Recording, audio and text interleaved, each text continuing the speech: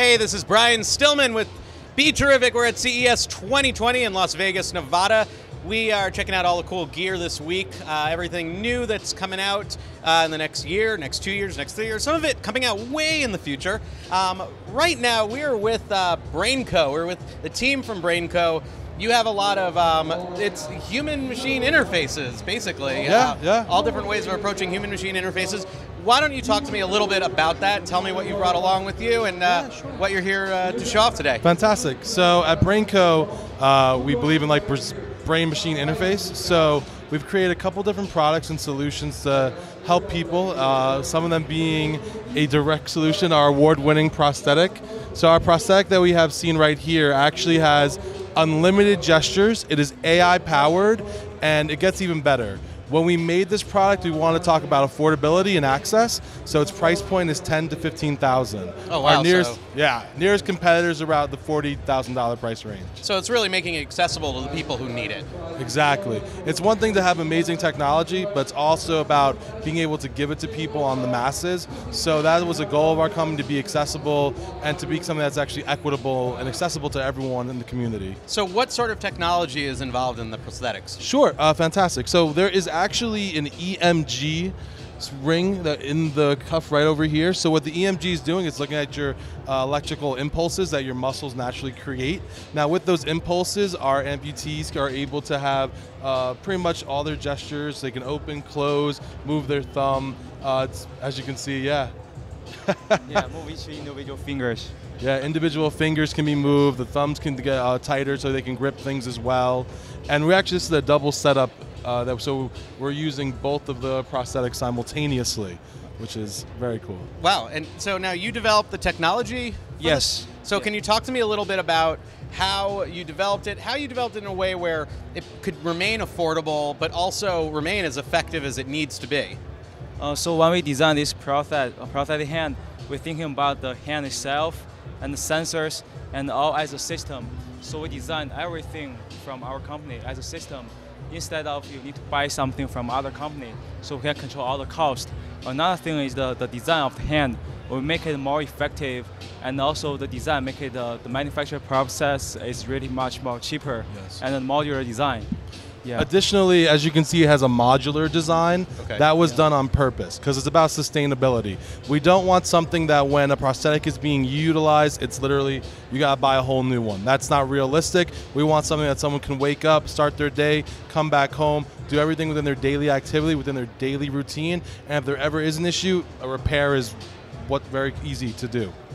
Now, I I have a question for Nee. Is it was it difficult to learn to use it? Was it difficult to interface with it? 呃，这个很困难去使用吗？No, it's not difficult. How long did it take you to become comfortable with it? 呃，需要多久你会比较适合使用它？大概十到半个小时，十分钟到半个小时。呃，ten minutes。 Really, that Yes. fast? Yeah. Um, were you surprised that it was so easy to use? 呃，你感觉到惊讶吗？这么容易去使用它很神奇，很惊讶。 ？Very, uh, very uh, surprised, amazing. yeah. Um, so, when working on something like this, Yes. what are you thinking about? What are the criteria that you're looking to adhere to um, in terms of making something that's effective, making something that's cost effective? Yeah. Um, what are the sort of baselines that you want to achieve? Yeah, well, for us, it's about, you know, as a company at BrainCo, we don't want to live in the lab, we want to live in real life. And that being said, we have to think about real world application, real world use cases. So our team challenged themselves to say, how can we make something that will provide these unlimited gestures? How can we look at every single component from the screws to the battery pack, every single part of it, and say, okay, where can we save costs and at the same time not take away from experience? What's the most challenging part of approaching a project like this? So one challenging part is we are using AI technology, using machine learning. And in order to make it work, we need to have multiple sensors embedded in the arm. And that's the, we are the only company trying to have multiple sensors to measure all the neuron activities from muscles. And this part is, from the technical point, is really challenging because the signal is really tiny and the muscles are kind of overlapping each other. How can we, the machine know which muscle the user trying to move and which finger tries to move. So this part is the challenging part. Yeah, no, it's it's very difficult because you know there's already there's a lot of muscles in that area, but to get that really good signal quality to replicate it was a challenge that our team had to overcome. And you know we've been at this for quite some time, and we're happy to say 2020 is that year. We're going through FDA, and the goal is to make this something that any person can get on and experience a truly groundbreaking experience that is about quality of life. What sort of leaps did you make uh, in developing this uh, in terms of the interface, the sort of human uh, machine interface? Um, what kind of uh, leaps did you have to make to bring this all together? I think one thing you need to have the electrodes, the sensor design, have very accuracy, have high sampling rate. A second thing you need to have really good contact because each person's limb is quite different shape. How do you make something unique for Right. them and have good contact of the signal? Yeah. So this interface is the key point to help him to control the hand.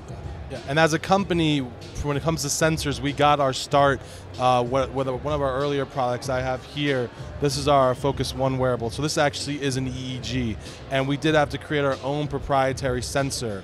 So as a company, we've always looked for new solutions to existing technologies to actually improve them and make it more user uh, friendly. So, what is what is that? Oh, okay, yeah, Since you awesome. brought it out, I mean- yeah, yeah. So Brainco is a company, uh, we do a lot of amazing work.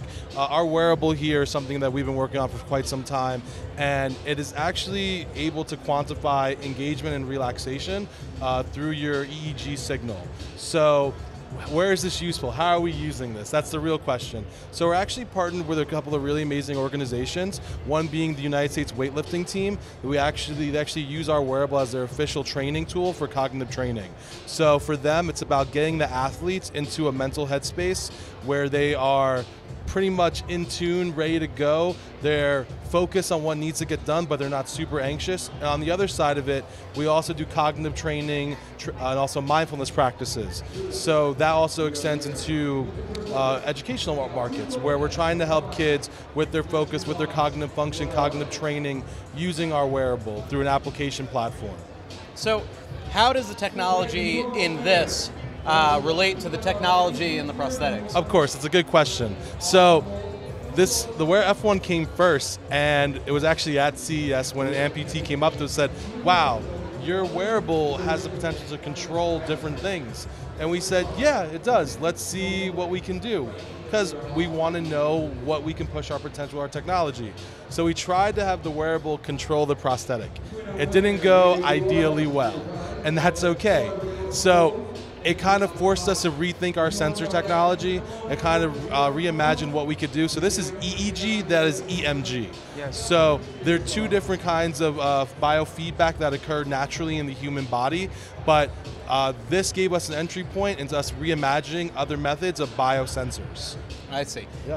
Um, now, I, I noticed you also have Oh, uh, yeah. a unit over here. Yeah. Um, what what's over here? Let's uh, put that down and yeah.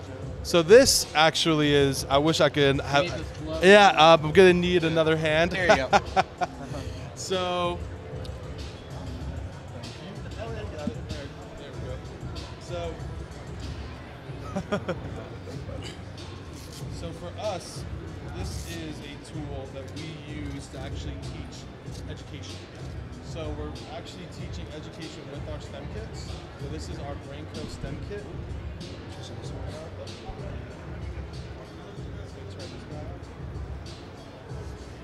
Oh wow. So this is something that uh, we do sell already into the educational space. Sixth to twelfth graders it actually comes with curriculum. The kids will build it, put it together. They're going to code it. They're going to learn about prosthetics, about uh, what we're doing, and the idea is, is to inspire the next generation of learners to go into biomedical, to go into algorithm engineering. And we have a wide multitude of accessories that do work with it. One being this flex clip right here. Additionally, our wearable does work with it also. So using your EEG signal, you can control the functions and movements of this STEM kit.